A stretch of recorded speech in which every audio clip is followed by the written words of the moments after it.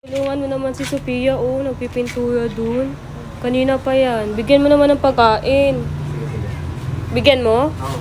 Gusto mo pala talaga si Sophia, no? Hindi ko lang gusto yan, mahal ko na yan. Oh, shit!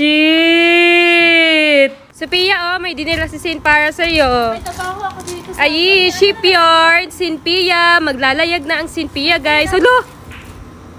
Uy, Sophia, ba't mo naman tinapunan? Hey,